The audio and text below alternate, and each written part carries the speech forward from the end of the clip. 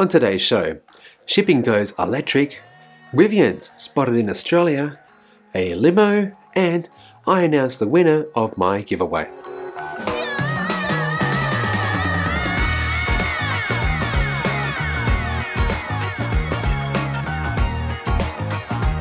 G'day, my name's Chris and thanks for clicking on the link. If you're new to the channel, consider subscribing, it honestly does help the channel. But if you want to see more news like this more often, maybe consider joining us over here on Patreon where from as little as $2.50 per month, you get early access to news, behind the scenes, polls and a lot more that you just don't get here.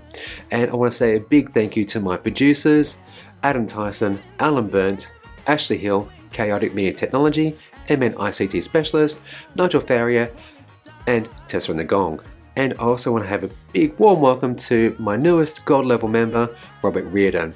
He's actually been on, um, I think, a silver level for a while now, and he's uh, bumped it up to gold. So thank you very much, Robert. And look, also a big thank you to my uh, patrons.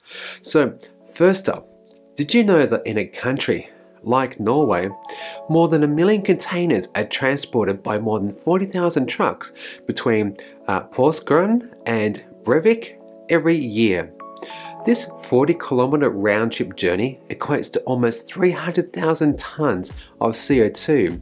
What if it could be done more efficiently by a ship that actually carries 103 containers per load, uses electricity from renewable sources, of which Norway is quite rich in, travels at a speed of um, 13 knots, that's about 25 30 k's per hour, and well, here's the big deal it's all done autonomously. Yeah, yeah, autonomously. Well, soon that is.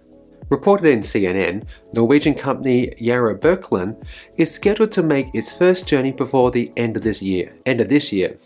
It will use a 7 megawatt hour battery and will be the first, uh, at first rather, manned by a skeleton crew to ensure that it doesn't do an Ever Given, yeah, remember that one?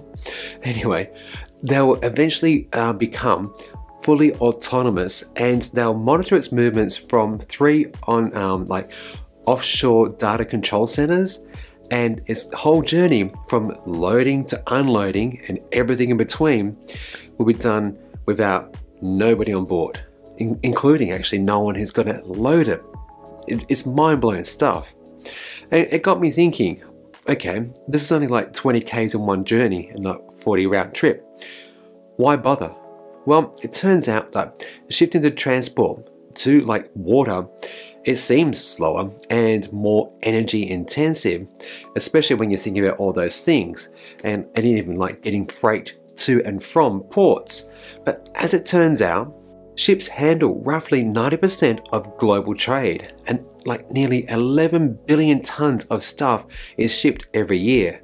Yet that industry only contributes between 2.5 and 3% of global greenhouse gas emissions. Compare that to almost 12% of road transport.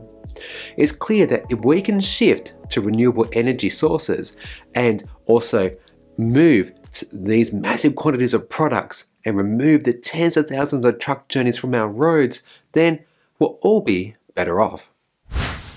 Earlier last week, I reported to my awesome patrons how someone, somewhere, source not very clear, that Rivian might make right-hand drive vehicles for not only the UK but also Australia.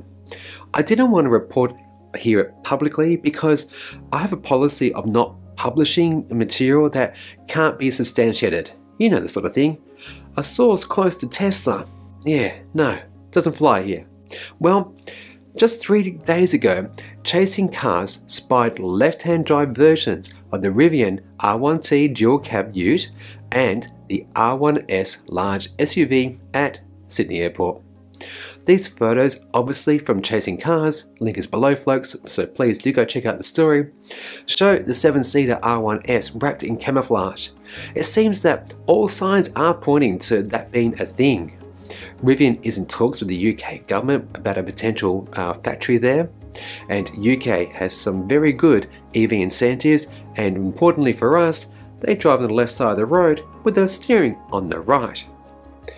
And these test vehicles, being not so secreted into Australia, no doubt I'm really actually thinking this is going to be a thing and bring it on.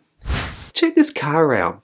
It looks like a Toyota Camry meets a Kia Cerato. Yeah? Well, it turns out it's a limo by Mobilize. Mobilize who?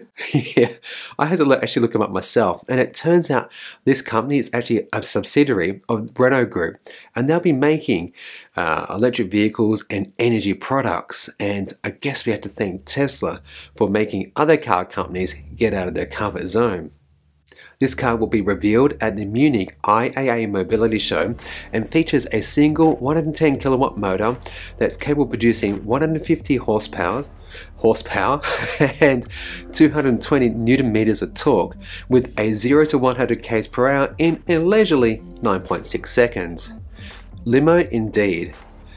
Designed for taxis, private hire vehicles and fleet use, the limo will be available exclusively via a subscription service which I'm kind of confused about. So does it mean for people who drive them, they effectively lease them? Or is it for users like ride, ride sharing people, people, you know, people, passengers in vehicles who actually can subscribe to a service to be driven in these vehicles. It, it, it's not very clear from the media release, but I think it's actually the former. So if you actually know, please put it down in the comments below and yeah, pin it so that everyone actually is, is better informed on this. A few details of the limo. Available this time next year, it's 4.67 meters long, has boot space of only 411 litres, so that's not especially big for a taxi or limo has flush door handles that pop out when the vehicle unlocks, LED headlamps, a 10.25 inch uh, screen that's used for the instrument panel, whilst a 12.3 version features the center dashboard for multimedia, navigation and more. The Mobilize Limo uses a liquid-cooled lithium-ion battery with a capacity of 60 kilowatt hours or 450 kilometers of range, WLTP pending. So let's just pretend 400 kilometers, shall we? I find it interesting that a car company like Renault is launching a side business like this, which, if I understand correctly, is hiring out its vehicles to professional drivers. The economics must work out, and I hope they succeed because for every petrol or diesel vehicle that we get off the road, the sooner we can all breathe a bit better, and importantly, the more people can get the to experience an EV and start thinking, hey, this is nice. It's electric. Yay! Okay, it's time to announce the winner of the EV Armor Center Console wrap for the Tesla Model 3 and one month on Patreon as a producer of my channel. So, to find our winner, we're actually going to do a producer call now where the team is going to help me find the winner. Let's go to that. Awesome. All right, now you guys, you're going to help me uh, find a winner for this thing. Uh, Nige and Adam to do is Nige, you give me a digit between 1 and 9. Or in fact, excuse me, give me a digit between 0 and 9. 7. 7, alright. Adam, give me the same, 0 and 9. 7. 77. So I'm going to go. Actually, 7. 77. I was going to say 7 if he asked me. Oh my ah! gosh! Oh my gosh! so guess who the winner is? not good random number generators. Apparently. Guess who the winner is? It's EV Dave. Who's that? EV Dave. Dave. He's on. He's on Twitter. I'm certain of it. Oh, good. Yeah, yeah, yeah. Awesome. All right. Congratulations. Is he deserving? Congratulations, EV Dave, for being content. Hey. there we go. 77.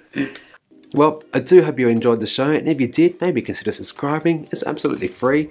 If you want to see more content like this, consider joining me over here somewhere for um, behind the scenes, early access to news, polls, and a lot more. And thank you to my patrons, and thank you to you for watching. Otherwise, please do be good and be green.